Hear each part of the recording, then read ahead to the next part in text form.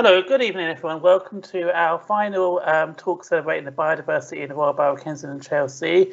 Um, this talk's um, led by Emily Millhouse, who you might remember did our talk on amphibians a few weeks back. It'll be about an hour to an hour and 10 in length, and there'll be time for questions afterwards. Um, the housekeeping instructions are given on the home screen, hopefully you can see at the moment.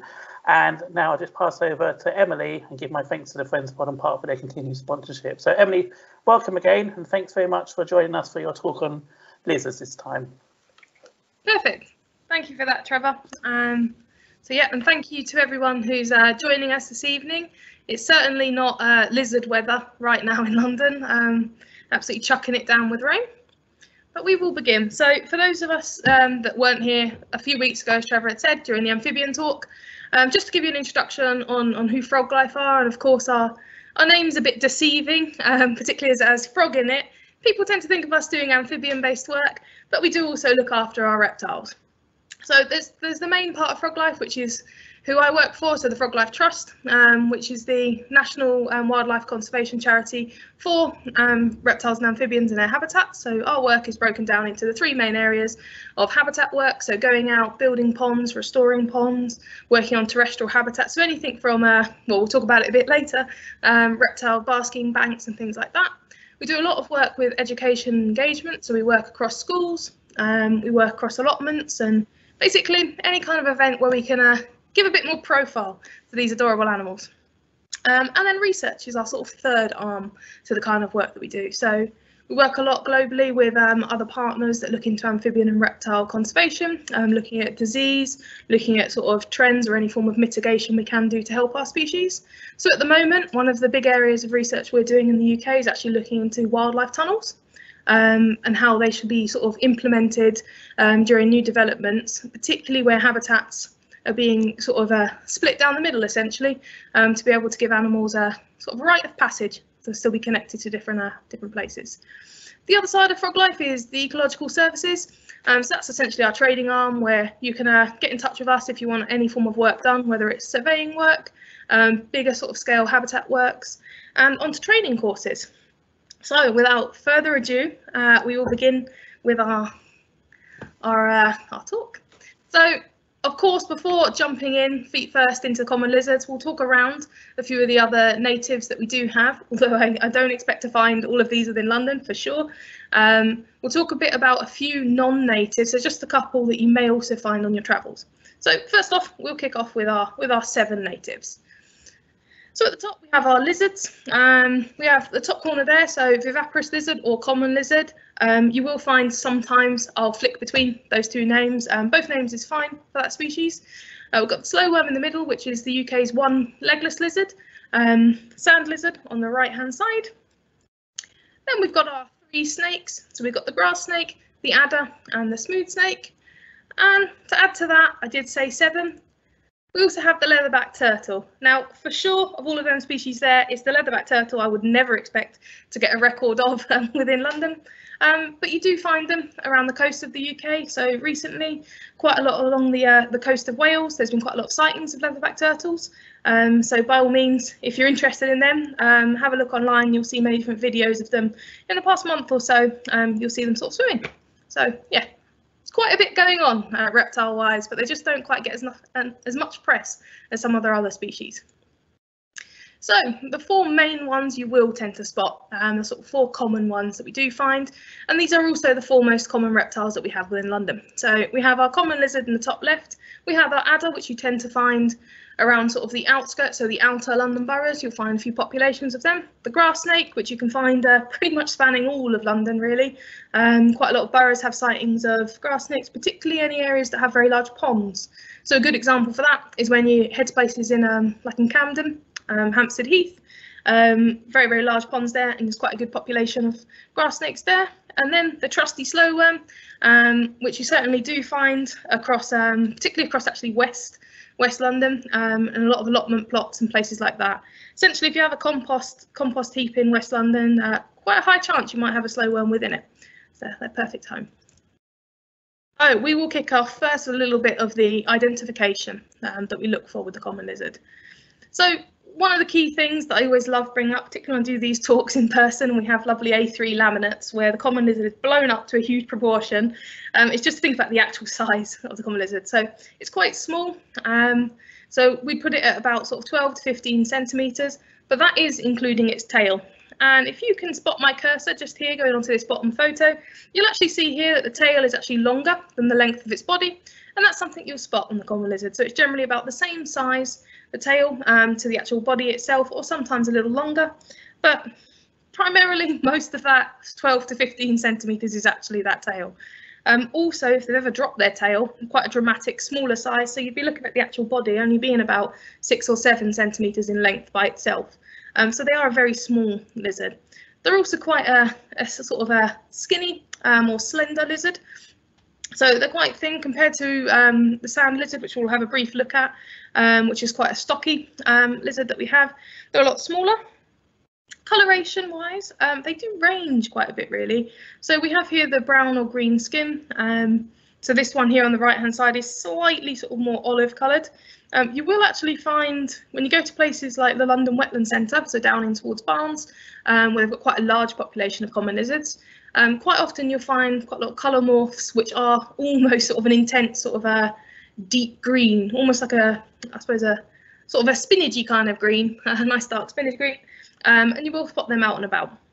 But one of the key things that you're going to look for to see that it is a common lizard as opposed to any other type of lizard is the first big feature, and this bottom photo is perfect to show it, um, they have these lovely dark flanks. So if you see these dark sort of bands the sides of its bodies, so these sort of like ventrodorsal flanks just here, um, if those are sort of darker in coloration to the, the rest of the body colour, um, you'll know it's definitely a common lizard that you're spotting.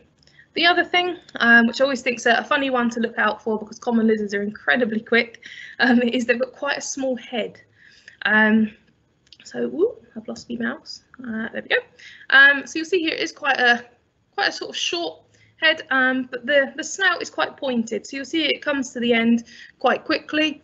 Um, you may also find on these heads, um, particularly with the females who have slightly smaller heads, you'll sometimes find scarring around sort of the top and the back sort of essentially where there's a if you if you could say a lizard has a neck which it, doesn't particularly change in shape from its head if you see any scarring there it tends to be a, a, a female that you're looking at just because it's the way that the males will clasp onto them we will talk a bit more about the um, the interesting way that lizards mate in, a, in a few slides time but we'll look a bit more into the differences between the males and females so of course this is a two very lucky people that have had photos of uh, lizards very still uh, at this point in time. So we have the male at the top and these sort of ocelli, or I prefer to call them sort of eye markings um, across their body. If you're spotting that sort of pretty much scattered around their entire body, so everything from a sort of almost like a, a white or cream circle that's got a slightly darker band uh, around it, tends to just be the, the males that you're looking at.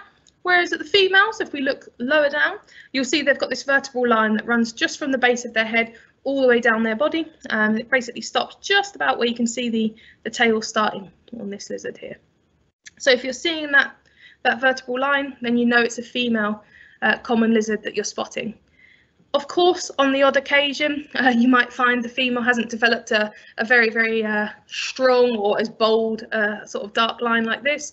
She may have the odd breaks within that, but pretty much if you can spot, particularly if you have quite a nice camera, um, if any of you are keen bird watchers, you tend to have really good lens with this kind of thing.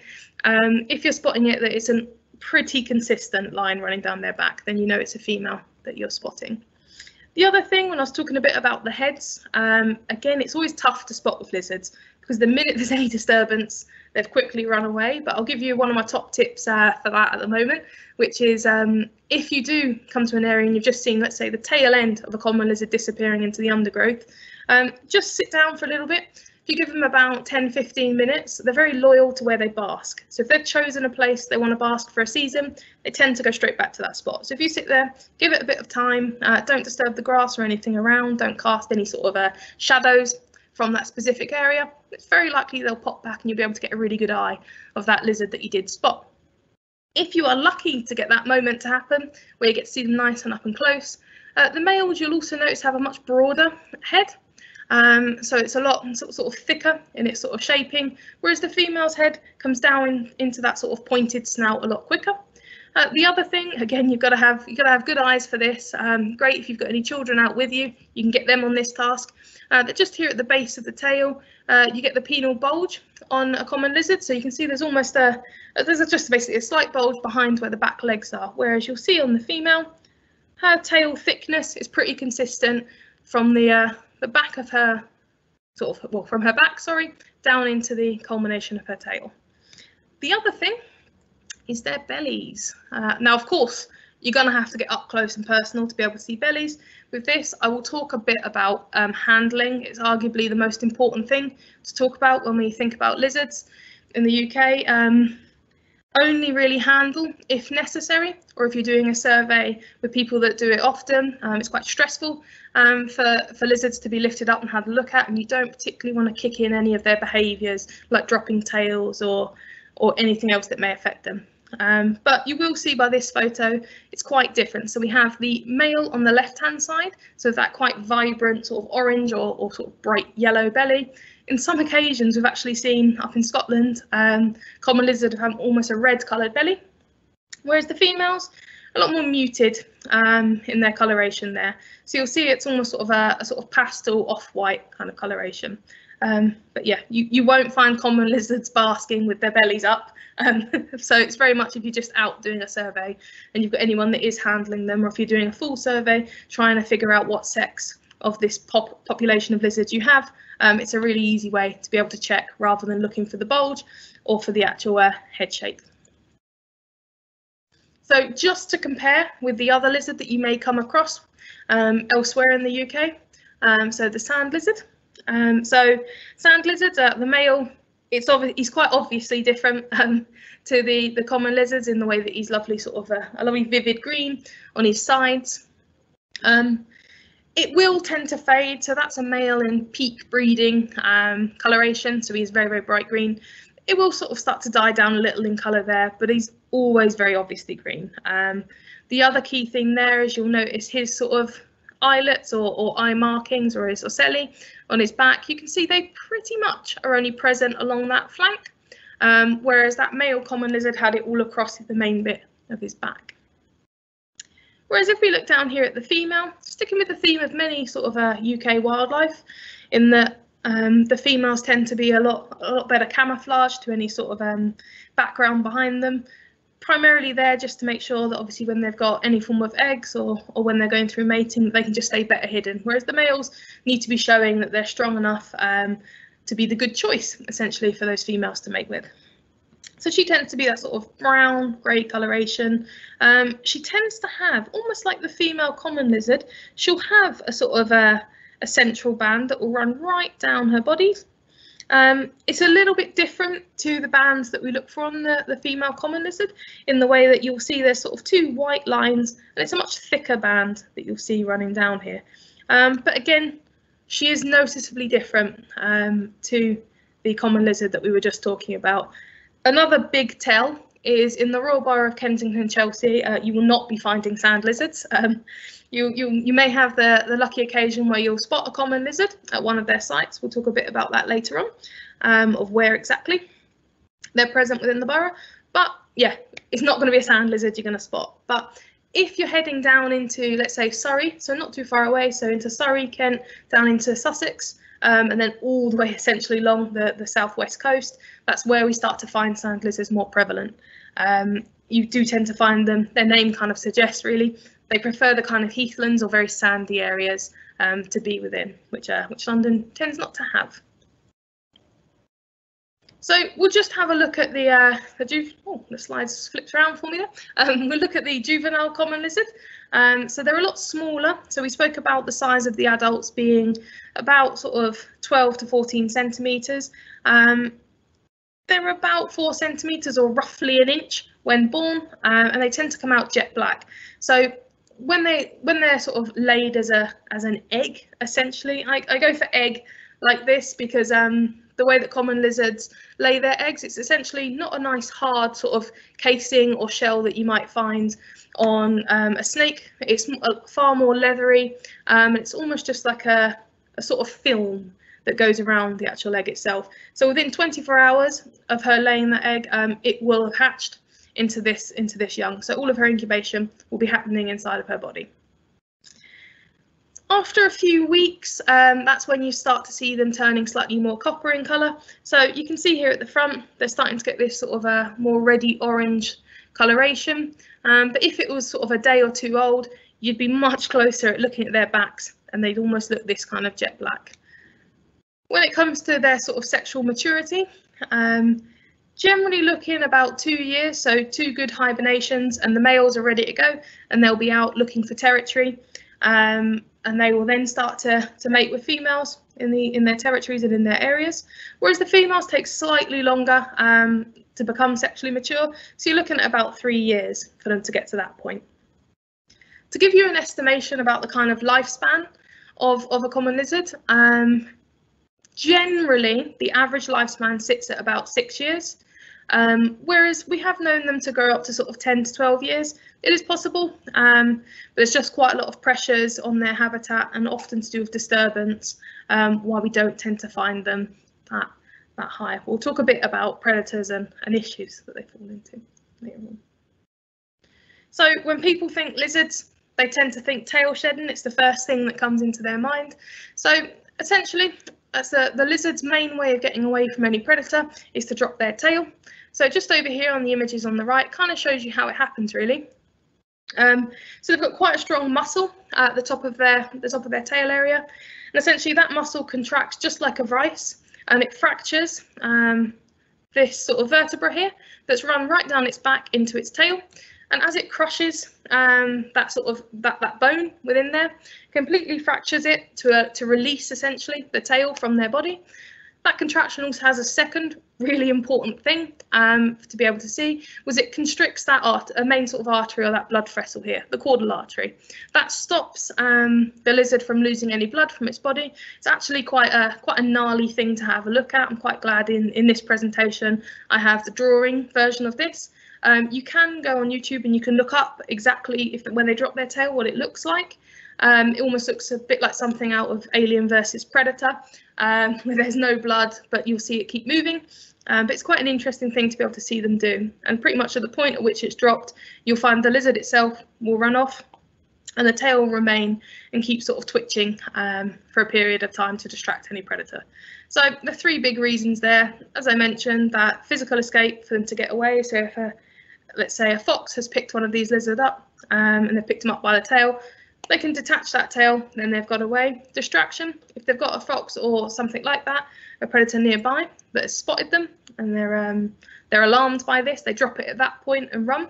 So you'll find it still twitching to distract any predator there. And then the third one, kind of important for any of our um, common lizards that might be in areas where maybe we have adders, or particularly for the common lizard, which has quite a big range um, globally, um, many other sort of venomous snakes or venomous animals that they may come in contact with.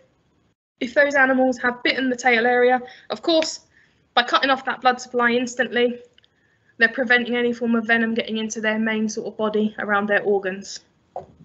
Although this is fantastic as an anti-predator mechanism, it is you are to be aware that it's not going to be great in the long run for the common lizards or, or any lizards really to drop tails particularly as we move into this kind of time of year uh, where the lizards are starting to slow down a bit in their behaviours. Um, you're not finding them out and out and about as much, and they're looking for places to to hibernate. Um, it's not great for them to be leaving their their fat stores, their energy stores that would get them through hibernation behind. Ideally, it's best to keep them all together, which is one of the other reasons why we say if you don't have to handle them, or you don't have to disturb them per se, we would uh, we would advise you to to not bother picking them up because um, if they're losing that tail, they may get away at that point, but it might not be as great for them in a few months' time. So we'll do a very quick dip into the, the non-natives in the UK. Uh, quick stipulation there that although that says the UK, um, I'm talking in the frame of mainland um, um, UK. So when we're talking about the Channel Islands, so Guernsey and Jersey, you will find other lizards in those areas. So we have lizard number one in question, which is our common wall lizard. So common wall lizards, um, you will spot them around in some areas of the UK. Well, I say some areas. We'll, we'll, talk a bit about that. I won't jump the gun. Um, we'll go through their ID primarily. They have a very long tail. Um, they're also quite a leggy uh, lizard, as is the next lizard we're going to look at. So when they stand up, they tend to be a lot higher in elevation from the ground that they tend to be laying on. Whereas our common lizards, when they're moving, that belly's pretty consistently in contact with the, the floor that they're on. They have very, very fine scales, so I'm just going to avert your attention to this top right photo. So you'll see here their scales are really, really small, whereas in our common lizard and our sand lizard, they're actually a lot blockier. They're a lot larger in the way that they look. The other thing is this collar. Um, so this is, although uh, luckily that wasn't my finger having a little uh, nibble, um, you'll see here this collar. It's a lovely sort of perfect straight line of scales that's not something again that you'd find on common lizards. Um, common lizards it'll be a lot more jagged, um, a lot more erratic in its in its sort of scale patterning. Um, yeah, it's a lot more refined uh, the wall lizard scale pattern, um, which is also useful for when they slough or they shed their skin. Um, you can you can still be able to identify what lizard it is that you've found um, just by their sort of slough that's been left behind. They tend to be this sort of mottled black pattern um, with sort of green or brown coloration across their body, as you can spot here. They have a very sort of almost like a pencil shaped sort of head, so the pencil nib, very, very pointed snout. Um, it's a lot longer face wise um, compared to our common lizard. So just something to be to be mindful of when you're when you're looking at them. So I said a bit about their distribution. Um, we do find them in places we'd expect to only find them in Jersey, uh, but there are colonies across um, the UK really. Um, Hampshire um, and the Isle of Wight, those kind of areas, are actually quite a few populations of wall lizards in those spaces. Um, you will you will sometimes spot them in those kind of areas. I mentioned that they're quite leggy. This is a great photo to show it. Um, you'll see here his elevation from the floor is quite high. They do tend to prefer basking in basically incredibly exposed um, locations. So you tend to find them on the cliffs or in any form of sort of old fortifications or old buildings. So anything sort of around castles or or stone walls is perfect for them. Um, yeah, you'll find them very much out out and about. There's the two forms. Um, so we looked in that last slide of a, a green-backed uh, wall lizard, whereas this one you can see is a, a lot browner in coloration, even actually a little closer to orange in the way that it looks. Um, if you're interested in spotting common wall lizards, um, there are volunteer groups all around the UK that go out and they um, they survey for these pretty consistently along with our native species. Um, and if you're truly keen in getting involved in the conservation of of our natives, um, they'll go out and they'll have a look and they'll keep an eye on these sort of target non-native species as well that are around. Which takes us on to our second, uh, the very aptly named green lizard. Um, Luck, luckily, its name is very true to what it is. Um, so it is an incredibly green lizard. I'll quickly add, just because of course this slide says Western green lizard. Um, there are two variations of the green lizard. So there's the Eastern um, green lizard, which you'll find across Eastern Europe, and the Western um, green lizard, which you find everything from sort of Germany towards us. Um, in the UK, it's only Western green lizards we find, so we tend to just call them green lizards here. If you've spotted them, it's likely these guys um, that you have seen. We said bright green. Um, I'm not kidding. They are very, very bright, uh, bright green. Their heads from the top, particularly males, like this one here at the bottom. If you were to look at them straight on from the top, their heads are quite dark from coloration, which is in quite a difference uh, to the throats of the males. So the male's throats go quite a bright uh, blue. Particularly, you would see that more so, mm, I would say this time of year, but this kind of weather wouldn't be a great time to be able to spot uh, the green lizards either. Um, so in the sort of summertime is when you'd expect to see him going as blue as possible on that throat and a lovely sort of bright green. I will avert your eyes to that fourth bullet point, um, which is again the size, up to 40 centimetres. They're well over double um, the size of the sand lizard. So if you're ever unsure about that slight greenish green sort of tint of uh, a sand lizard um, compared to the green lizard. Um, yeah, if it's that large, then you definitely know it's a green lizard you're spotting at. And also that variation, it's nearly sort of uh, three and a half times the size of our actual uh, common lizard. So quite different. So we'll just touch upon where we'd expect to find them. If you holiday in Guernsey or Jersey, we'd expect to find them in that kind of area. We have that one population down in Devon, so just outside Bournemouth, we've got the Boscombe Cliffs. Um, you will find there's one population of green lizards there. There's actually a few studies um, that's been look, been looking at green lizards in this area. Um, one of the things they have noticed, or at least on the preliminary findings, is that actually when green lizards are present, they do push out common lizard populations. So it is something that is going to, well, it needs it needs more time, uh, a longer sort of research period to be able to check if that is true. Um, that it's completely moving the whole population, but you tend not to find green lizards in the same spot that common lizards move into. Primarily due to that size, I suppose it's very hard to compete with something that's so so much vastly larger than you. Um, yeah, habitats that they like, uh, they much prefer that sort of bushier vegetation, which is in a big comparison to the wall lizard, which prefers it straight out um, with as much exposure as, as possible, no form of sort of cover to go into. Um, but yeah, you find them in a variety of different places across Europe. Um, but in the UK, you're looking at the Channel Islands or or that one one cliff area um, down in uh, Dorset. So we'll have a look at that distribution of what we expect. So the common lizard rightly so, um, is called a common lizard, um, as it is very common. Um, it's the one native lizard species to Ireland, um, so they're spread all across Ireland. Um, you find them all across the UK, even as you sort of head into different islands up in sort of the western part of Scotland. Um, they're the furthest ranging lizard in all of Europe, so you can find them all the way up in the Arctic Circle. You'll find them from there, spanning all through Europe, all the way down into Italy. Um, so they've got quite a big range of what they can accept. Um, they're pretty happy in most habitats, uh, which is why they tend to do a bit better off than some of our others. To give you a, a, consensus of that, of course, you can barely even see London down here um, under under dots. We'll look in comparison to the sand lizard, which is our other native um, lizard with legs that you will find. You'll see how sporadic they are, with um, essentially Surrey and Hampshire being their stronghold there are populations all around. Um, you, are not going crazy and it's not an error. That there is a population of sand lizards um, up on the west coast of, of Scotland on one of the islands. Um, if you're super into your lizards after this talk and you want to learn a bit more about these lizards, it's actually really interesting to look at.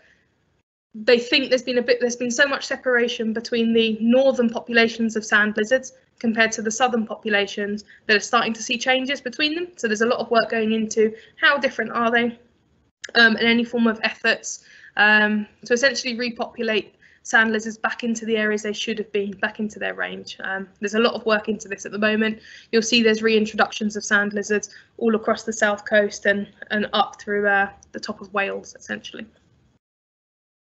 But anyway, back to our common lizards. We've, we've covered the other lizards you might spot on your travels, um, but looking at the ecology um, of what kind of what they're doing essentially across their year. Um, so our common lizards would be looking to hibernate um, from about now, really. Um, so about a month or so's time um, through to November, that's when you tend, you're not going to be finding them out and about as much. This is their last month of any form of activity, going out eating as much as they can to prepare for hibernation. So they'll tend to be looking for areas um, that aren't too boggy at this time of year. They'll be looking for nice sort of uh, dry spots that they can they can get nice and hidden hidden away with. Um, they're a really interesting species when it comes to hibernation. Um, they will hibernate in huge groups, so you can get sort of up to 30 or 40 of them all together, which of course has benefits of not only are you sharing warmth in that little area as you hibernate, um, also there's that prophecy of safety in numbers that if a predator did appear, um, then of course you've got less chance that you're going to be the unlucky thing that gets eaten. Um, but they do also, and you will quite readily find them hibernating individually. So you may get one individual um, that will be under a single log that's quite happy and hibernating there. Also benefits to that, of course, um, that you're going to have less disturbance as other lizards, sort of if they wake up earlier, if they're having a bad hibernation, maybe they haven't eaten enough earlier on in the year and they get up earlier and they're disturbing you. Um, so benefits to both, but quite an interesting behaviour in a sense that they're quite happy to do both. Um, and you'll see that vary even within populations on certain sites. Just that little uh, sort of a caveat there, just mentioning the sand lizards. A lot of sand lizards will already be looking um, to hibernate right now. So they've sort of done their whole breeding season and they're, yeah, they're heading back down into the scrub to stay hidden, uh, to see through the cold weather. So through all of that sort of winter period, you tend not to be spotting them out and about. Uh, they will be hidden away. They'll start to emerge sort of uh, around February, March time. Tend to find this kind of this year. They came out a bit later, so it was generally around the March mark, sort of mid-March onwards, is when we started to see our common lizards in the UK. Um, they're the first um, of our lizards that does appear.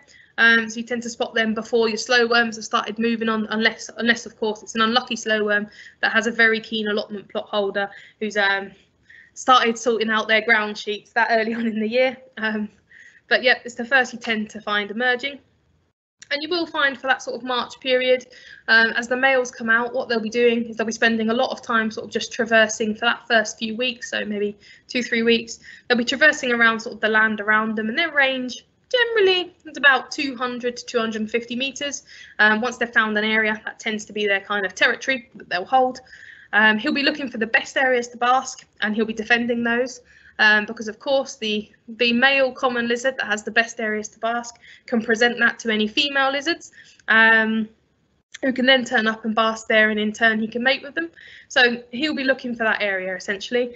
And then when you get to about May, where everything's kind of settled and the females have also all emerged, uh, you'll then start to find if you are disturbing them or if you go out on the same sort of walk every single day, you'll find them in those same areas where they've basically decided for this summer, this is the area I'll be basking in.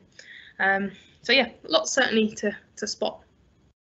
Uh, they get all of their sort of uh, sloughing or all of their sk uh, skin shedding over and done with nice and early in the year. So pretty much as they're coming out in sort of, uh, well, as this year, March kind of time, um, you'll find that's when you start to spot all of their kind of uh, their skin essentially that they've shed and is around any of the kind of places. For that, you're going to just be looking for, I suppose, think like a lizard really, anywhere that's getting that lovely south facing sun. So anything that's lovely and warm, maybe sort of slightly on the edge of habitat, so between sort of um, grassland and maybe bushes, that kind of area that you're looking for, where they, they can easily dart away from any predators.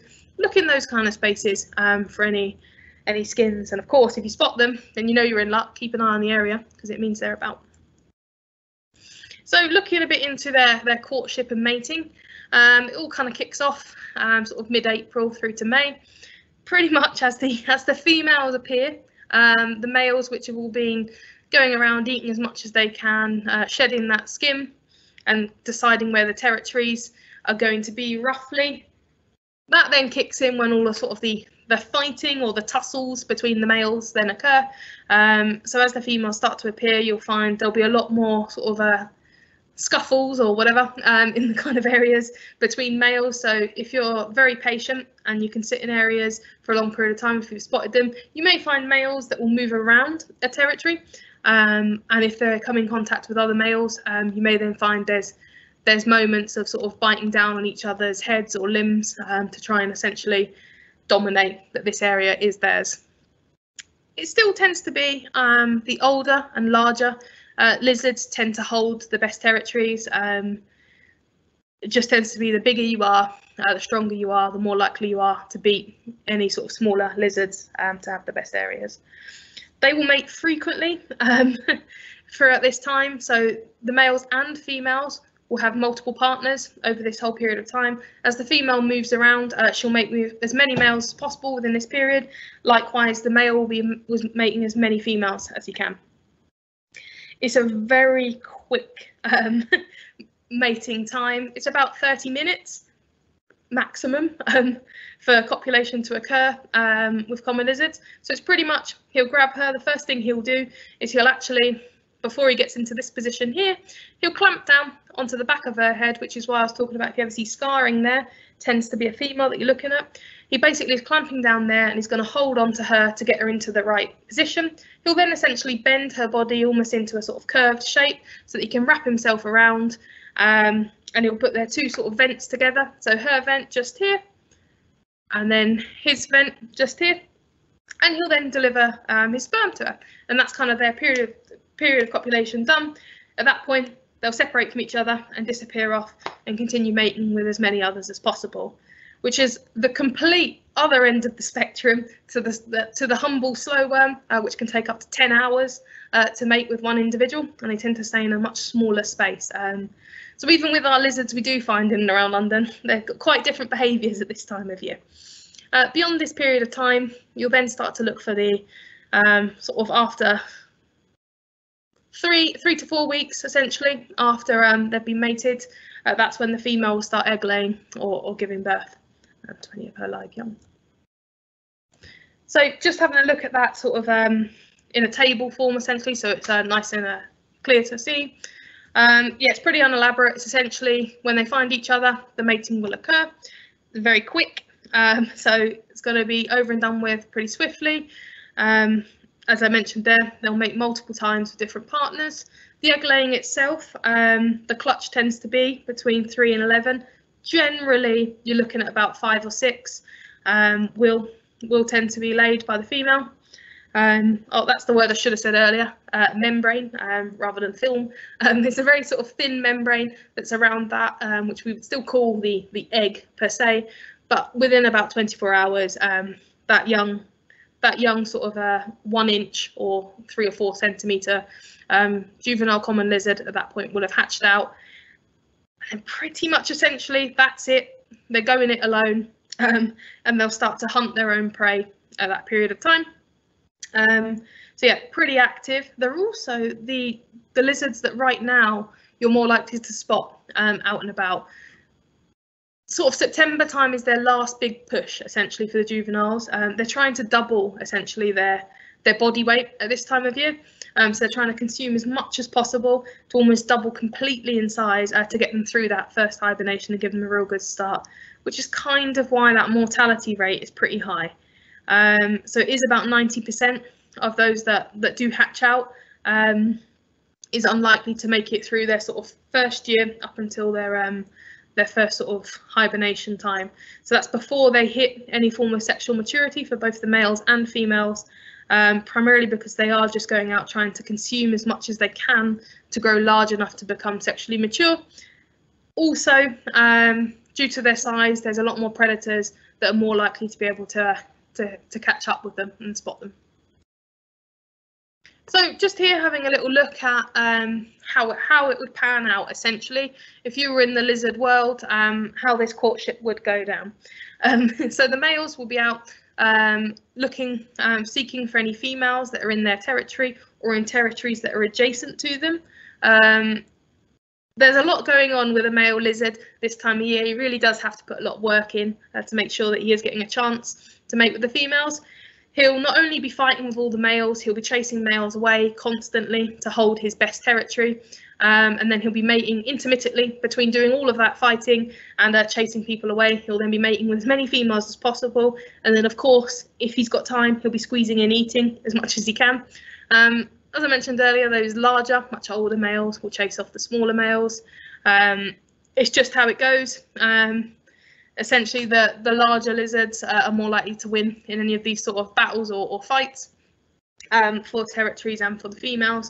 So you just tend to see the larger ones will have more chance to mate with more females.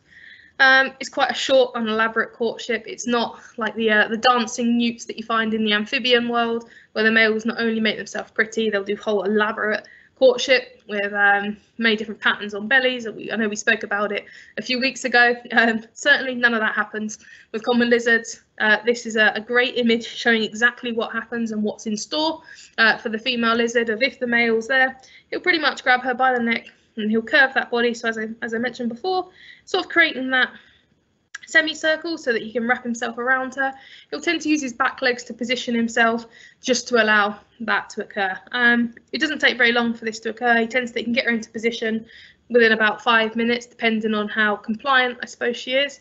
Um, if she's completely doesn't want to mate, um, she will also fight back, and you'll see. Um, well, it's quite. I suppose a, it's almost a show of hurt pride if the female turns around and she'll bite down quite hard on the male's tail or on his limbs. And at that point, he will release and, and let her move on. But if she is compliant and we're getting this moment happen, um, yeah, maximum 30 minutes, uh, the male release, and then that's it. He's off um, and he's looking for someone else to mate with, and the female, the exact same. This is probably one of the coolest things with common lizards and one of the lesser known things about what they're up to. So it's not as simple as running around trying to find as many females as possible for the males. Um, there's three different strategies um, which actually show themselves in coloration on common lizards. So the orange belly um, males, they invade and mate by force. So essentially they tend to be, um, I suppose, the, the more boisterous of the three here. They'll dart into territories, they'll fight with males, and essentially any female that they see, they'll run at, fight, try and mate with her. The yellow-bellied males, um, so this one here on the, the right, um, so they go orange belly in the middle, yellow belly on the right hand side. Uh, they'll invade and mate by deception. So they're not that daft. When the orange bellied um, common lizards are running out of their own territory to fight with other males in adjacent territories, the yellow bellied lizards uh, will slip into these unguarded territories, essentially mate with all the females in that space and then disappear off out before the orange bellied common lizards come back. The white bellied um, common lizard, so like this guy just over here, um, they guard mate and they cooperate, so you'll get groups of them. They'll all work together, um, where they they'll essentially find a female. They'll all mate with her in quick succession, but they'll keep her completely guarded from any of the other um, lizards. So to have a, it's almost like rock paper scissors here of how it works. Um, so essentially, the force um, tends to be the cooperation. Um, so it all, it's essentially those orange-bellied lizards are essentially just looking for where the females are at. When they're locked onto where a female could be, they're running straight towards her and they're going to mate with her at any cost. Um, whilst this is occurring, um, so in that in that scenario, uh, orange orange is winning, um, and then white beats yellow when it comes to deception, because of course, as they're all cooperating to guard the females, no deception can occur. There is no unguarded territory or unguarded females. And then likewise, uh, deception, the yellow-bellied lizards will beat the orange ones because the orange ones are off fighting everyone else uh, to mate with the females whilst leaving their own females in their territory completely unguarded.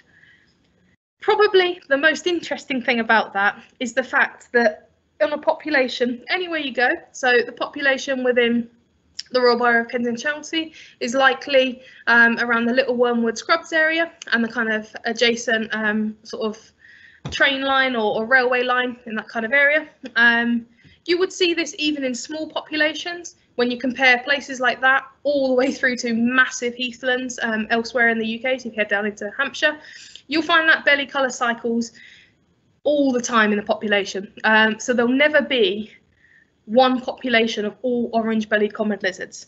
It essentially, as one does very well for a year or two, uh, you'll find there'll be an insurgence of those that have been born with the other coloured bellies um, genetically.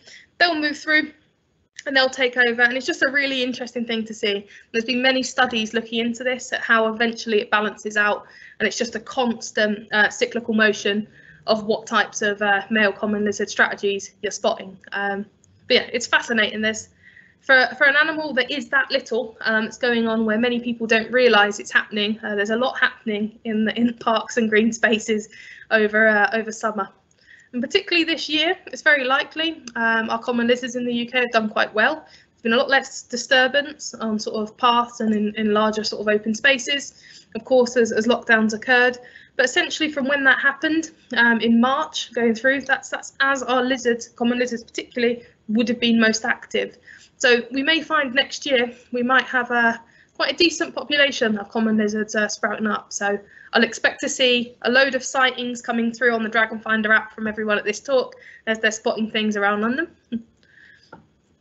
so we're talking a bit about that growth. Um, we spoke about when they when they're first born, they're about an inch or three to four centimeters in size. Um, I'm mentioning about that that sort of doubling essentially in their weight before it gets to hibernation, what they're doing right now, the juveniles. Um, you're going to be seeing a little bit more sort of sloughing occurring from the young ones now. So unlike the adults, which will slough earlier on in the season, so around March time, it's about now you're going to see that on the young ones, primarily just due to their size having such a rapid change, essentially. Um, again, I mentioned you can tell what, what species it is by the slough that's left behind. Um, when you time to find I always think lizards look quite grumpy when they're sloughing. It's a probably a personal thing, but I always think they look a bit a bit annoyed when they've got bits of uh, dead skin essentially being rubbed off dead scales. So they'll slough into sections, um, any of our leg lizards, so slow worms and common lizards, uh, sorry, uh, um, common lizards and sand lizards uh, will slough in sort of sections, in parts. So you may find that he's sloughed three of his legs and he's still working on the last one. They'll slough their head separately. Then they'll have their main sort of flank, their main body here, and sections of their tail will go. Whereas the slow worm is actually really nice that, of course, not having uh, legs, it's quite easy for them to slough in the way that when they burrow down into the soil, um, you'll find that their slough will come off in a sort of rings essentially, as it will just slide down through their body. They still do, of course, um, look a little patchy at times with their sort of duller looking skin, where they haven't quite got their, their fresh scales on show. Um, but it is really handy that even if you've started to, to look late, so if you're starting to do sort of common lizard surveys, even now at this time of year, which is very late in the season to have a look, you may still find young about and you may find young sloughs uh, about. So any sort of uh, any sort of skin that's been shed in the areas. So it is worth having a look.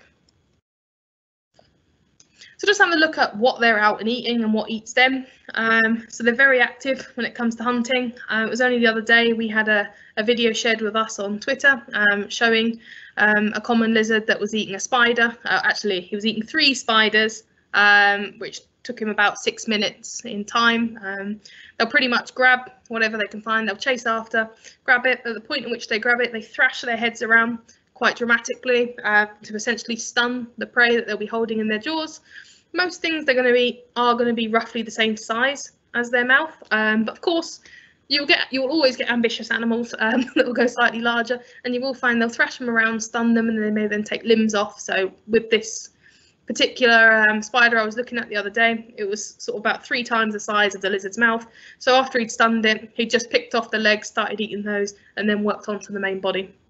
But yeah, it's quite a quite a ferocious thing for a tiny animal you can see doing. Almost if you think alligator like um, thrashing around in the water, they're doing that on land for you. So they'll chew that through and they'll swallow as much of it as they can whole. Um, it just tends to be they'll they'll tear off any any edge limbs um, if they're able to. So their prey, you tend to find them eating mainly the inverts here. Um, that they'll be spotting anything that's small enough for them to be able to grab. Um, predators, much larger list. Um, of course, many things will eat our common lizards. Um, the big one for the common lizard populations we have within London, and we do have quite a lot of them, do tend does tend to be the cats. Um, we do expect many natural predators to have a go at our lizards. Um, cats tend not to necessarily eat them, um, but they will tend to bring them indoors. So they may have brought it in to show it off that they've found something or they've caught something. They tend to put quite often the lizards then will die of shock um, because quite often it's being played with. So they may be punctured by the cat and they've probably already dropped its tail the minute the cat's grabbed them. Um, but they are they are a predator still in essence. Um, they may eat them, but more likely just to just to kill them for the, the thrill of the hunt. So that's one of the animals we do have a look for. Um, if you've got common lizard population near a very urban area, it's a, a good thing to, to monitor if you've got cats about. So we'll just briefly dip into licensing. Um, just look into what legal protection um, there is. Just like in my amphibian talk, there is a variety of different sort of protections out there. Um, on our website, there's a, a, full list of all of this if you did want to really read about what annexes of each of these um, actually sort of affect our species. But the key thing to take away from this is that common lizards aren't a European protected species.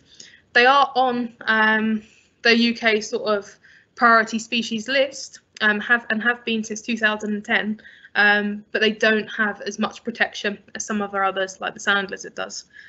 They don't require licensing for surveys, um, so unlike smooth snakes or sand lizards, or when you move into the amphibians, things like the great crested newt that require a license for you to go near them and handle them and look for them, uh, they aren't, aren't under that. Um, the key things their kind of protection that covers them, along with the slow worm, is to be protected from anyone intentionally going out and killing them or injuring them. Um, also, you cannot take them from the wild um, and sell them. That also goes to the point of buying. So if you did ever find uh, online anywhere people trying to sell common lizards, um, do report it. You can report it to Nat um, Natural England and, and they will follow that up. It is an offence to do so. Um, but yeah, you can though go out and you can take as many photos of them as you like and have a look in their habitats and work with whoever your local landowner is to survey for them. Um, so we'll talk a little bit about the surveying in a in a, in a few slides time. Um, so just looking at what habitats they like. Now, I think that first big line, which is found in a wide variety of habitats, is perfect for the common lizard. You saw on their sort of species distribution map that came from NBN Atlas earlier on. Um, it's very clear they're found pretty much everywhere in the UK. Um, they're quite happy everywhere. Um, so you'll find them in heathlands, you'll find them in grasslands, you find them quite often along rail embankments. So maybe another reason why um, Little Wormwood Scrubs is a is a good place for them, as it's got that kind of area nearby. They're quite happy in brownfield sites, um, which is actually where most reports we get as a charity from common about common lizards in London are actually from areas that are quite urbanised. Um, so you will spot them out and about. They don't mind a bit of disturbance um, regarding the kind of habitat that's there. Yep, and you'll find them either all the way down towards the coastal grasslands. Um, I like the last two points are very contradictory in themselves, that they're quite happy, not just everywhere, but they're quite happy in a very small population, but they're also pretty happy in very high density populations.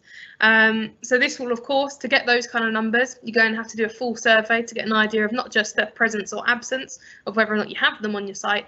If you really want to have a look at how many your sort of habitats or, or your site or your park or location um, can sustain, you want to get a good idea of how many how many are actually there. But just have a little look at a few pictures of uh, nice places you could find them. Um, bogs or areas like this around ponds, you'll find common lizards in these kind of areas. Um, at this time of year, you're less likely to find them, but in the middle of sort of summer, you would quite happily find them near this kind of area. Uh, the, boggier, the boggier area, or sort of the damper the area, tends to be where there's a higher density of invertebrates, so things they're going to be eating. They will spend time uh, around there. Um, going back to this sort of alligator or crocodile prophecy, uh, common lizards can swim. Um, they don't readily jump into the water and swim off, uh, kind of like grass snakes do. Grass snakes love the water, um, but you will find them swimming if need be. If, if there's a, a point in which they're startled or um, they need to be able to cross an area or they're sort of locked in by any form of sort of puddle or anything like that or a small pond, they will swim across it. Um, they swim just like sort of a, a, bearded dragon or or a crocodile in the way that you'll find um, they'll completely loosen their back legs and it'll go sort of adjacent to their tail and they'll thrash the tail around to propel them across the water. Also another interesting thing, you can go away on YouTube if you want to see one swim. Um, it's quite an interesting sight. It's not an animal we, we often think about in the water. Of course, moorlands um, and heathlands and places like this, um, the big expanses is where you're going to find them as well. It's sort of a more traditional habitat you'd expect them to be within we're going again to this sort of a concept of uh, whether it be brownfield sites or sort of urbanized sites or places where where there's been a bit of human impact, shall we say. Um, so these kind of spaces are perfect for common lizards as well. Um, this photo here, although it may not look much, and you know, to us, if, if we're trying to uh, look after a space and make it look um, aesthetically pleasing. We might not think this is great for wildlife or, or us as people, um, but this is actually absolutely perfect for, for a common lizard. It's got everything they would possibly need. Um, they can easily bask along this sort of the, the outer shell of the um, shed here. So they'll use these sort of wooden planks which will retain more heat. They'll happily bask along this kind of line. It's perfect. Not only is that going to have good sunlight hitting it, not only is it going to retain the heat, but if they do spot you coming close to take a photo, it's very easy for them to dart straight into this long grass here. Nine times out of 10, our sort of spottings or any form of sightings of common lizards will be found on sort of an edge habitat. They love mosaics of habitat. So if you've got a whole variety of different places and different sort of um, sort of topography or different heights of vegetation or things around, you'll find them in those sort of middle bits, in those lines, um, where they got the best of both worlds essentially. Um, which is also why when you go to places like um, I'm trying to think the Rainham Marshes, so the RSPB Reserve just further out than Barking and Dagenham, so going towards Essex, or even the London Wetland Centre where they've got their boardwalks, you'll quite happily find common lizards basking along the edges of boardwalks. So quite often when you're walking along, whether it be on the handrail elements or right along um, the sides where there's sort of overgrown grass, they're quite happily basking in those kind of spaces. Um, you'll also find on sites like that, so reserves, you may sometimes walk through and you might think it's a bit strange if you're seeing there's a, a lovely boardwalk or a lovely uh, wooden panelled fence, but there are little gaps or little slits that have been cut out. Quite often they've been cut out for the common lizards, um, so they can basically nip in to a little gap within the wall where they feel a bit more contained and safe, hidden away from predators, and that's where they'll choose to bask before they, they run away. Um, yeah, it's uh, certainly a, a great thing to be able to spot when you're when you're out and about. So we'll just talk a bit about the surveying behind them. Um, so if any of you are particularly like, yes, let's go out and have a look for these um, these species, um, it's a great thing to do, particularly next summer if the weather's lovely and uh, sunny and, it, and it's and it's warm and what we're kind of looking for. Um, we'll talk through here what kind of conditions, what kind of places you want to be looking at. Um, and of course, for, for us, as a charity that, that specialise in our reptiles and amphibians, it's one of the greatest things you could possibly do. Um, for us, of course, is to go out locally to your areas and your parks and places and have a look for what's there and then report back what you do see. Because um, it adds to this sort of conservation effort of if we know how well our species are doing, or vice versa, if they're not doing very well, and if we need to put more sort of time or energy into a specific species or a specific area um, to help them further. So the key reasons here before you do any form of surveying is why are you surveying? What is it you would like to find out? Um, so you need to be clear of this before you you're going to just sort of turn up with your maps or anything like that. Of just to get an idea of what what is it you want to achieve from this. So presence and absence absence surveys. Um, great for, as I was mentioning there, conservation organisations or or any um, local based conservation. You won't be able to conserve something if you don't know it's there. Um, so of course the best thing that's possible is if you find out you've got common lizards on site, at that point is when you can start to take the steps towards helping them out. And that's even at the point on a really, really local scale of a garden. It's the exact same that if you've never noticed they're there and then one year you go out and you're doing a survey for this, so you're going out the perfect time of day, the perfect time of year to spot them and you start spotting them, you may then at that point decide, actually I will cut, up, cut out little holes in my fence to allow them to bask in those places. I might leave more edges, a bit more unkept, just so that they've got areas um, to be able to hide. Um, of course, the second element of that is for the records of having them, so any planning consideration. Um, the best way for them to get any form of protection is, of course, if we know they're there. If we're unaware that the species are there, um, they're not going to be mitigated against. Um, so, of course, if you do ever spot them, it is the perfect thing to do is to report them, particularly this group of animals, um, report them to us or to your local biodiversity centre or particularly the actual landowner if um, you're doing it on behalf of someone else, um, just so that they're aware what they've got. You're going to move into a more detailed survey if you're going for that version. Um, so you wanted to get an idea of where where are they on my site? You may have a small site maybe a few hectares but then you might have a massive site a couple of hundred hectares. So you want to have an idea of what parts of the site are they using? What are they enjoying on the site? What areas should have them but don't have them? What should we be doing to encourage them into that area?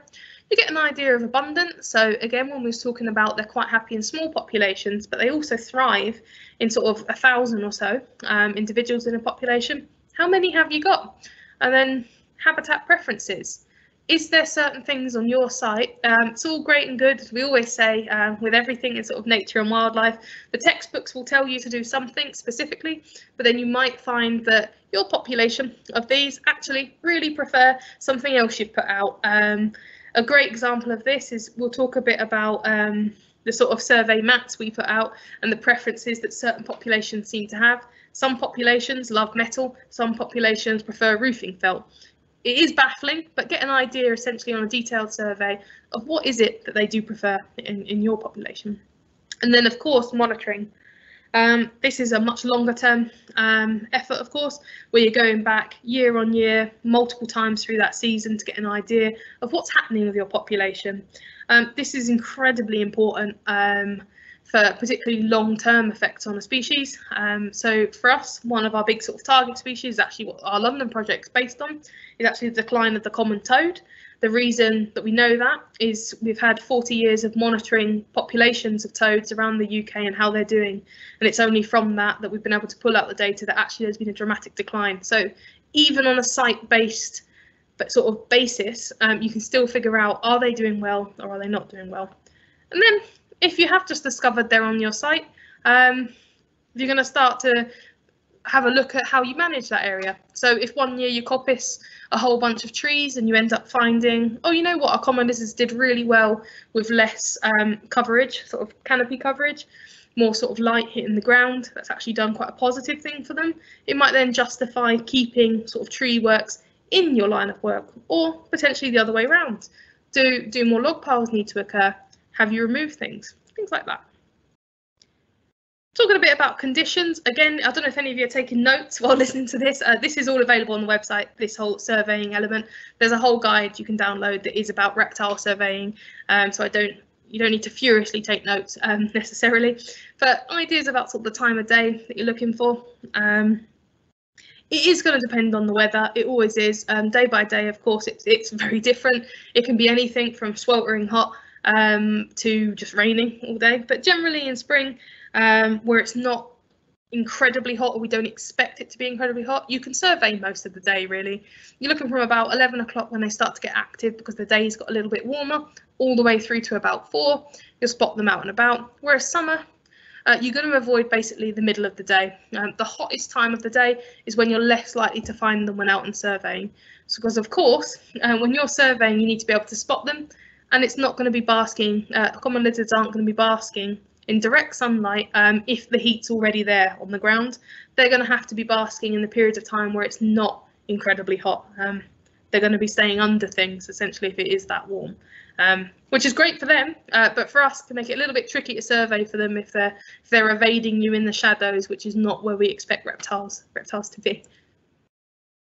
So going from not just on a day by day basis, what time of year? Um, so the best time of year, pretty much when we was talking about when they emerge, so through March um, through to June is your best kind of time. It's when they're they're out holding their territories. It's when they're all mating. It's when you'll find them out basking, particularly the females. When the females um, are gravid and they have all of their sort of eggs that they're incubating, you'll find them out and basking quite often um, through May and June. So something to be looking for. Now, this kind of time of year, so September, October, you will still start to spot them out, particularly the juveniles. Um, you'll find the juveniles just consuming lots and getting ready for their sort of first hibernation season. Um, but as of the last couple of months, we avoid July and August, although admittedly our August this year hasn't been the greatest weather-wise. Uh, we tend to avoid um, July and August a bit just due to, again, the temperatures just being so much higher. If it's always that warm, you're just going to run into the same problem that they probably are being active, but they're not going to be active as consistently in certain time frames because it's going to be so warm they're going to be hidden away more often than sitting on your lovely mats that you've put out or anything like that. So to get an idea about those weather conditions, sorry, those, um, what you're kind of looking for, it's quite a big range really, from about 8 to 18 degrees. That's kind of what you're looking for. When you start to go lower than that, you tend to find them. They won't be out and basking, so there's no real point all the way up to above 18 degrees. Um, again, it's going to be too warm for them to be out and basking where you're going to be doing your best sort of surveying. I should add that, of course, um, below 8 degrees, you may still find them out and around. I mentioned earlier about their range. Um, speaking about, you'll find them all the way up into the Arctic Circle. Um, they can survive quite happily to about minus three degrees. Um, it's again something I'm going to employ you to go away and look up, but you can look at the way that they, they partially freeze um, their body essentially, um, their organs and the water within their body for that period of time to essentially uh, sort of semi semi frozen state, uh, shall we say, uh, for that period of time. But then they'll get reactive as it gets um, gets warmer. But your best kind of time really to be able to spot them and see them doing most is between 8 and 18 degrees. Sun, broken cloud. Um, again, just when you're going to get most of the time, you're going to be getting sun hitting that floor. Um, little or no wind, again, just to just, just to stop the disturbance. Uh, you're more likely to have the lizards more spooked if it's very windy and all your vegetation is, is moving around and no rain. Uh, rain isn't greatest uh, for them to be out and basking. They're not going to want to be saturated um, whilst out there in the sun, but when that rain eases off, so sometimes if we've had a, well, as we have had this year, uh, if we had August showers, for instance, um, followed by a nice sort of sunny patch where it's not too sunny and not too warm, um, you quite easily find them out and basking at that period of time. Um, but as with everything, as I mentioned a couple slides ago with nature, it is possible to see them in almost any weather. I never want to tell you that if you've if you started your day surveying, it started really promising at 11 o'clock. Um, if by one o'clock uh, the weather's got a bit sort of colder, so you're thinking actually maybe I'll continue or maybe I'll go home. Um, you never know. Uh, I still think persevere. And it's also part of the beauty of doing these surveys multiple times over a season. You may have a day where it's just not not a good day to spot them, but the next day, um, the exact same, uh, maybe less than perfect conditions, and you'll spot them all. Uh, it's just the way that it goes with that. So where should you be looking? So we've had an idea of why we're surveying, what time of year we're surveying, surveying and why we're doing it. Uh, where should we be looking? So you're going to be considering things like the vegetation structure. We spoke a bit about those mosaic habitats or those edges. So here's a good example. Um, so this is this sort of um, log pile or sort of coppiced wood in this area. Great place for it to be able to um, to bask because it's nice and open, easy, direct sunlight. But at the exact same time, if it noticed this person taking the photo, it's not much effort at all for it to disappear into the undergrowth here or go this way into this undergrowth and we've lost visuals of it. So essentially you want to think a bit like a predator when you're thinking about vegetation of where would you want to go where you've got the best of both essentially where if you was a predator and you're looking for them um, yeah, what's going to be hardest for you to be able to spot. So you want to look for your best place to eat them and then go slightly off to the edge to where the worst place is. And that's where you'll find your common lizard in the middle. Um, the extent, of course, um, how big is this site um, that you're looking for? So get an idea of where you will be going. Uh, so the aspect and topography. So you want things that are generally south facing for that sunlight. Um, how what is the site like? Of course, surveying in a in a sort of moorland is very different to surveying in the cliffs in Devon. Uh, get an idea about what and where you're going to be looking for. Connectivity. So we spoke a bit about railway lines. Um, is there any places you should be pushing yourself to go near? Is it going to be beneficial for you to not only have a look on your site, should you be looking a little bit onto that um, onto that railway line? Is there any other sites very nearby that that could have connected them to? Should you be looking there as well? Because you don't know. You may find that you might find one site um, is heavily um, surveyed. But then you go a road or two away and no one's had a look there, but you might also find a population or even the same population that's moving around. And of course, the history. Um, there's a lot to figure out on, on sites of, of records that have gone back many, many years uh, to get an idea of where have they been found previously, um, even if not sort of last year's sort of historical records, but you want to go much, much further um, to where were they traditionally found? If you haven't done it for a few years, where did we find them 10 years ago? And sort of start your start your journey and looking for them there. So we'll just go through two survey methods um, that are a good sort of place to start. Um, so the first of which, um, visual encounter, it's probably the easiest of all survey methods. Uh, pretty much you're going to be choosing a walk, uh, a route to walk um, so you can go down that. So it could be a path, it could be sort of the edge of your park um, you're going to go around. It's a great thing to go on. It's very low effort. Um, it's essentially you're going to decide on a route you're going to use. You're going to walk that many times across the summer period, um, and that's what you're going to do on and on and off.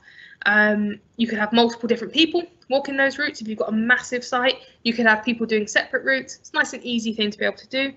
No equipment is needed, pretty much a, a sheet of paper or a, a, clipboard with a pen or a pencil um, to record what you're spotting. Course, um, if you want to go a step further, I always think it's a good idea to take a camera out with you um, just to be able to get a snap of anything, particularly if you're finding they're quite skittish. Uh, you might need to stand a bit further back to be able to get um, an idea of what you are spotting.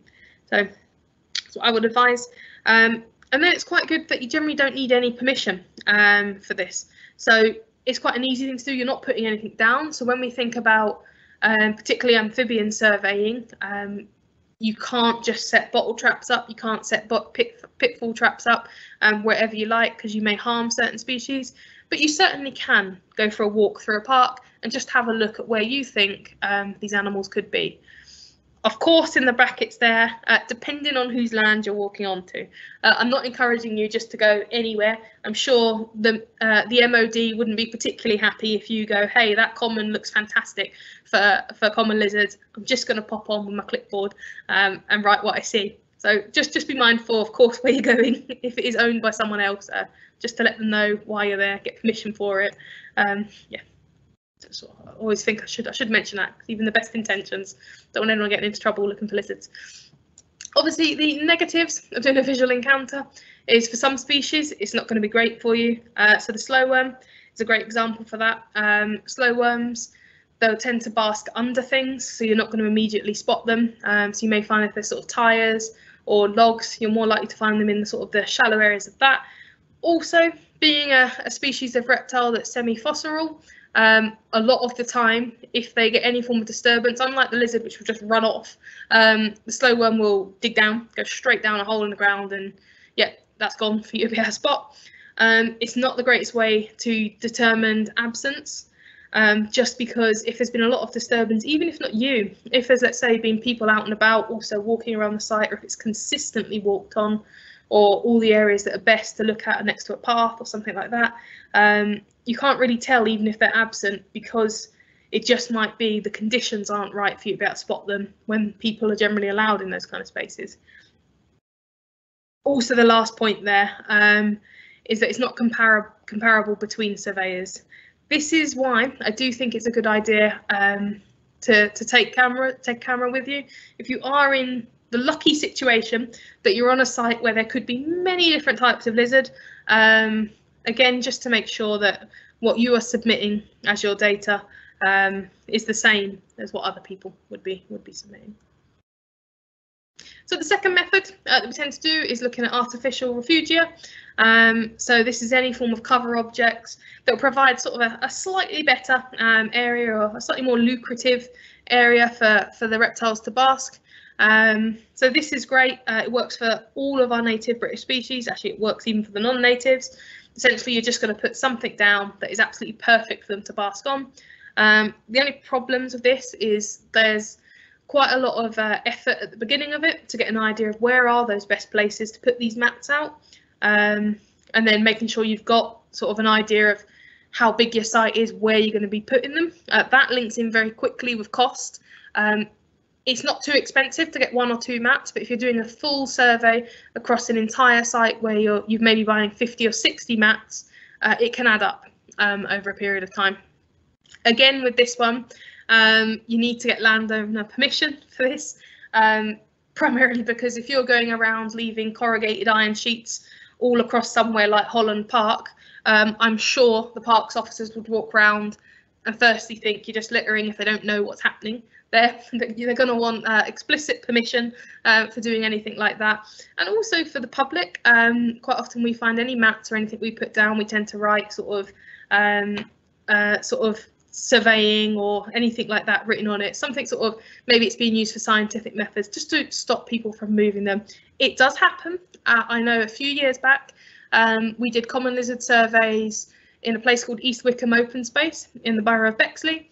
Um, although very well intentioned, we found that the local kids also using the site had, uh, when we turned up with our GPS with all of our mats um, to find where they all were and check what was under them, we'd found all of them um, in, a, in a sort of shrubby area that had been quite nicely uh, fashioned into a little den for these kids to sit in. Uh, but of course, completely blew the survey out uh, because they've been moved.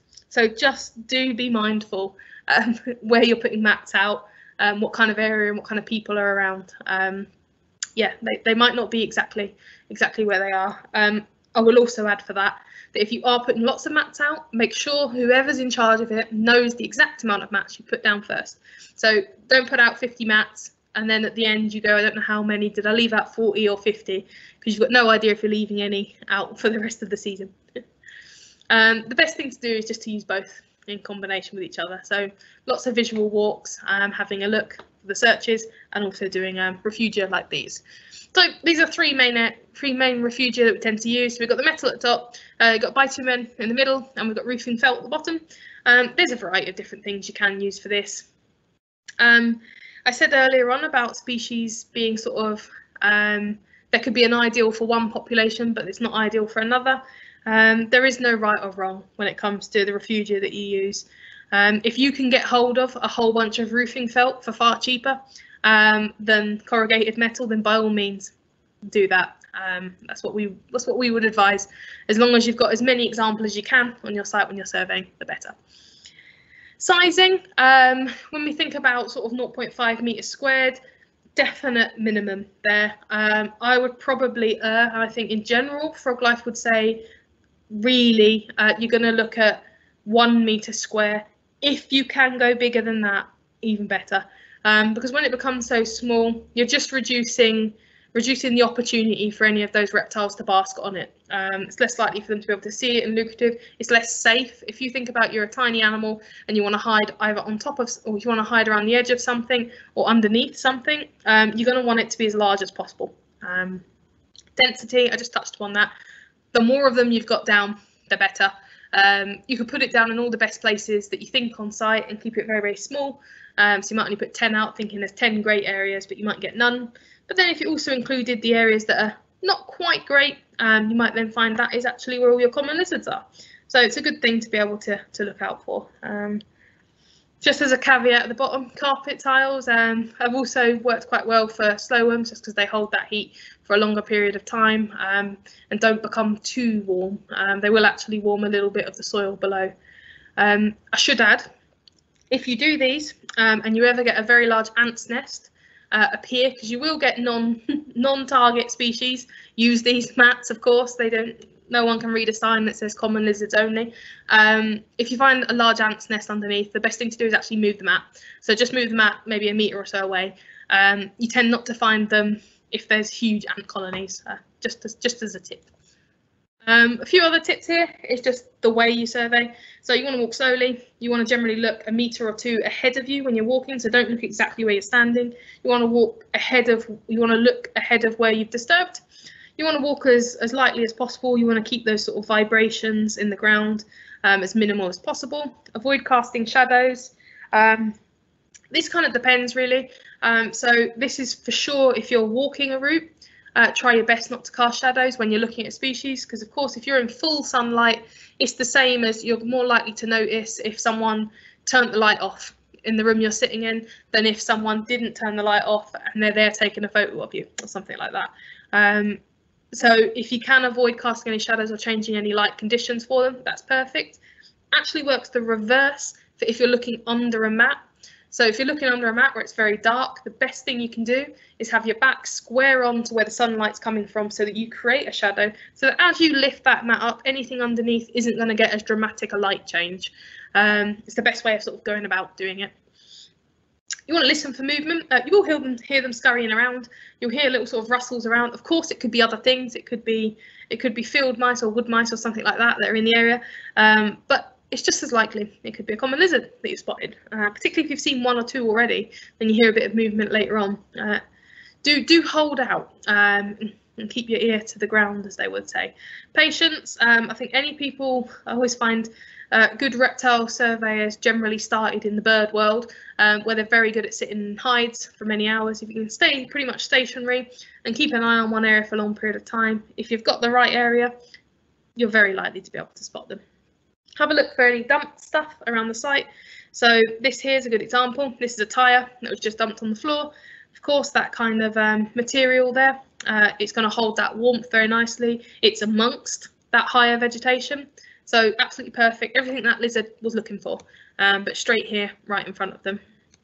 Um, and then just again, mentioning this sort of mosaic basking, again, keeping to those edges, you may sometimes find, I suppose, more true to the word mosaic is you might actually find you're only seeing part of the common lizard or part of any reptile really. You may only see the head sticking out and then the tail and stuff could still be underneath the vegetation. Uh, just keep an eye out. You may not see you may not luck out essentially in seeing an entire common lizard at once like this. Um, you might just see part of them sneaking out from the edge. So we're just going on to the the final part um, of sort of the the talk which is capture and handling I think I've done I've done a talk a bit quicker than, than normal. I'm 10 minutes ahead of my normal schedule. Um, it's capture and handling. This is probably the number one thing I'd like you to take away with you. Um, if if you go on and you decide you want to go out and start surveying for these animals, um, please take a note of a few of the things here. Of the first question you should always ask is, do you need to handle uh, that lizard? Um, it is stressful, of course. Anything that's that small in comparison to you, you will always look like a predator um, to an animal that's that tiny, that is quite often prey to most things. Um, so do be mindful of that. Um, that actual stress can also affect the males. Um, so if you're putting the males under a lot of stress, if that male loses his tail, um, particularly during his breeding season, it tends to be they're not as successful. Um, the success rate drops by about 80% if he's not got his tail when he's trying to attract females. Um, I'd like to think it's not that the females are so shallow that they need a nice long tail if they're going to choose them, but um, it just tends not to be. They're not doing as well if they don't have that tail there. So if you can avoid letting them drop their tails, that is the best. Um, it can cause problems for the gravid females. Again, that stress can affect sort of essentially the, the incubation, let alone if you handle them wrong. Um, again, such a sort of small animal. So you remember we're thinking their actual body area where all their organs is, is quite small. So again, we're just only thinking that sort of six, seven centimeters. It's quite easy for us to apply too much pressure and damage anything within within her. So you want to keep an idea there of if it's going to be a successful pregnancy, if you're going to pick her up and bother her. They can lose a meal um, from regurgitating any prey items. If they've just consumed something and you've picked them up, quite often the first thing they'll do, well, second thing they'll do after dropping a tail is they'll regurgitate anything they're currently trying to eat to be able to get away as quickly as possible. Um, I mentioned that sort of survival and breeding. So the survival I mentioned earlier on, that if around this time of year or nearing sort of autumn winter time, um, if they're dropping that tail, that is where their fat and energy stores are. Um, so yeah, it's best off they keep that to use it for the winter period of time. And then likewise as well, they're not going to behave naturally. I always think the nicest way to report or record anything that's actually happening with your with your common lizard population or, or any population of lizards um, is better if you're seeing them in their normal habitat. Uh, they're not going to be doing what they're supposed to be doing when they're sitting in your hand. Um, it's not going to be the behaviours they'd, they'd expect for sure. However, there is, of course, always a however. Um, for education and scientific study, of course, there can always be justification for if you're bothering, I don't know, a few a few common lizards over a season from maybe if you're doing a full inter sort of detailed study and you're also checking out the sex of every individual so you're you're going to be looking not only for those head shapes if you're not seeing those stripes you want to get an idea of how many individuals maybe you're taking photos of sort of belly patterns to see if it's different individuals you're spotting. Maybe you want to have an idea of when we were talking about that cyclical event of the the sort of mating strategies. Maybe you want to be having a look at the males you're finding. What type of male are they? Are they yellow-bellied males? Are they white-bellied males? One of the things you might be looking for there. So of course, in that kind of scenario, by all means. The same with education. If if the easiest way for you to engage when out on a site um, if you have a common lizard that's there, very sort of very placid, maybe they're basking quite happy, you can get really, really close. Um, maybe you're just going to put it into into a tray just to have a look at, and that inspires another generation or another group of people to look after them.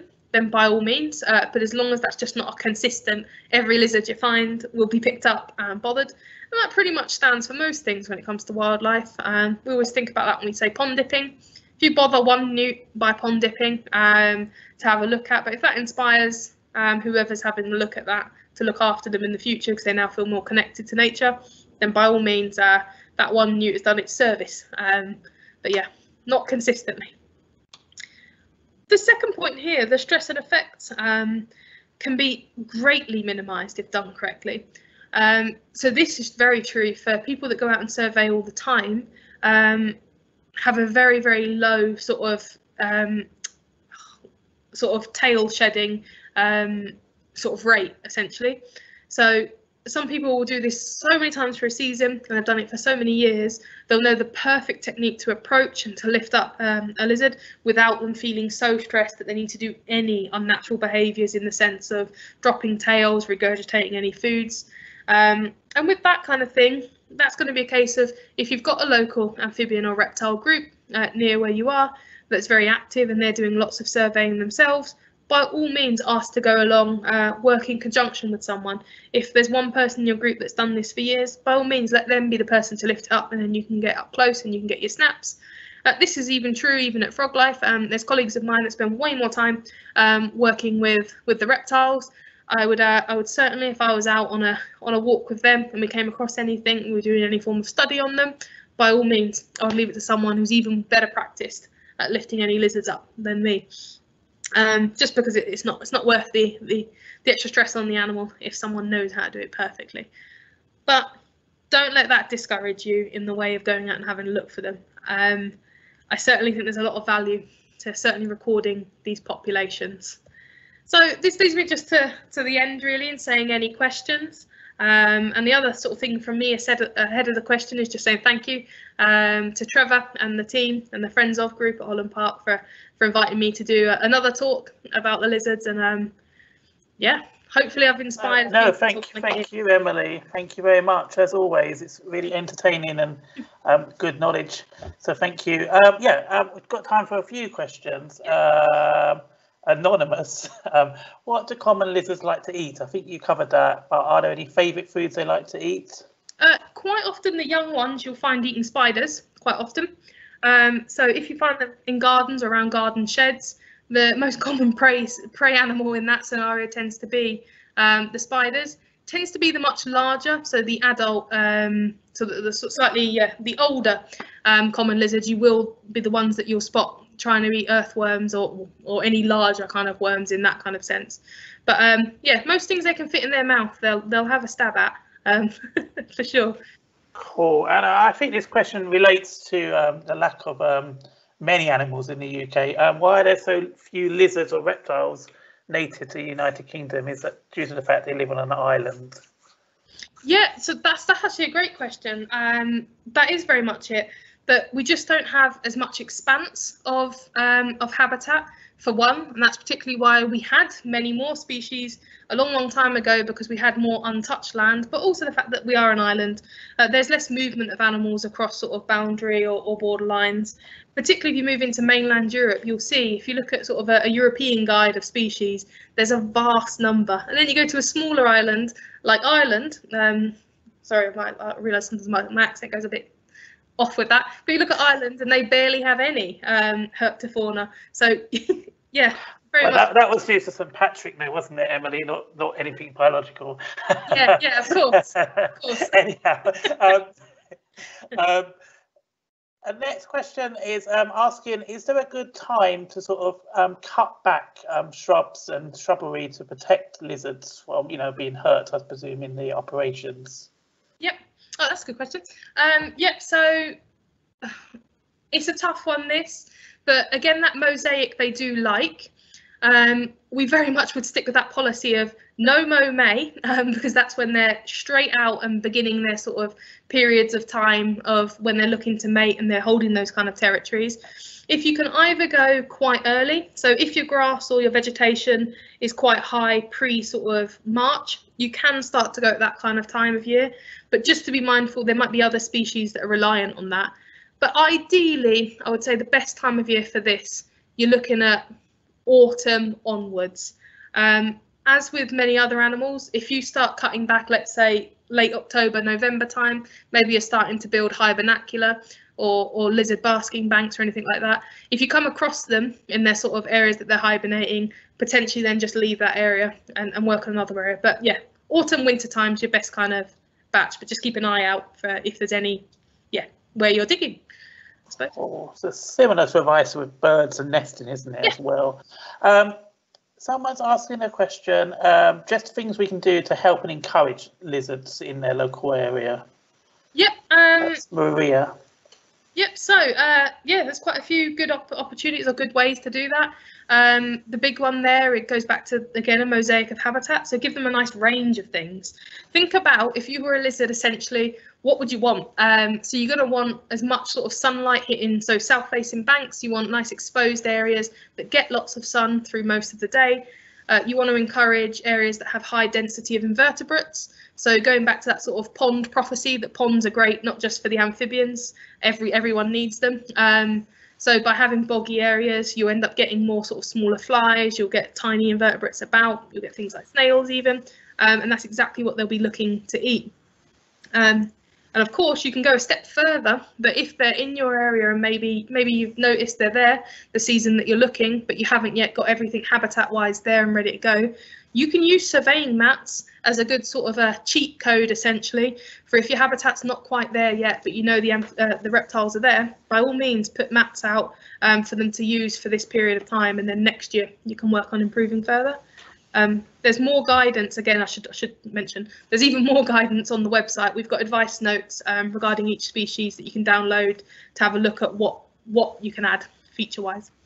Cool. And um, a question: um, Are they crepuscular or diurnal? I presume they're diurnal with their sort of you know their um, their body heat Yep, yep, they're diurnal. Um, so you tend to see them most active from about 11 o'clock. They're a bit of a lazy starter when it comes to the days, um, and you'll get them sort of active through to roughly about five o'clock, um, and then they're they're back off again. Cool. And do they have any sort of social hierarchy, um, or are they lone living species? Uh, tend to be quite solitary um, in their sort of approach. The only time you start to see any form of dominance or hierarchy is with the males and when they start mating. So essentially that is that kind of that that sizing up um, regarding the larger males will tend to have the best areas. So a hierarchy in that sense for sure. Um, and the patterning belly wise um, is the only other way there's there's any separation between them. Um, but otherwise no no distinct social based uh, hierarchy, but just if you're bigger, uh, particularly in, in the males, if you're bigger and hmm. stronger, you're more likely to have the best the best access to females and, and habitat.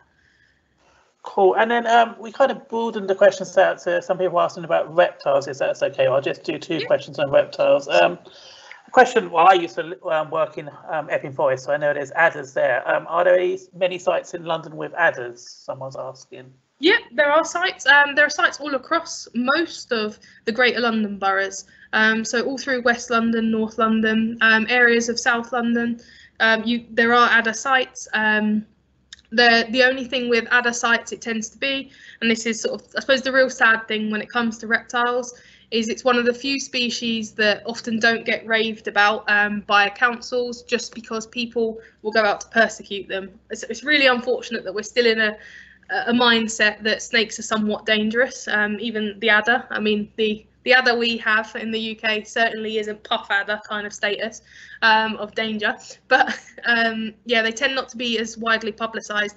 But there is quite a few populations about. Um, tend to be very small though, so even though the mm. sites are there, it's very rare in the UK.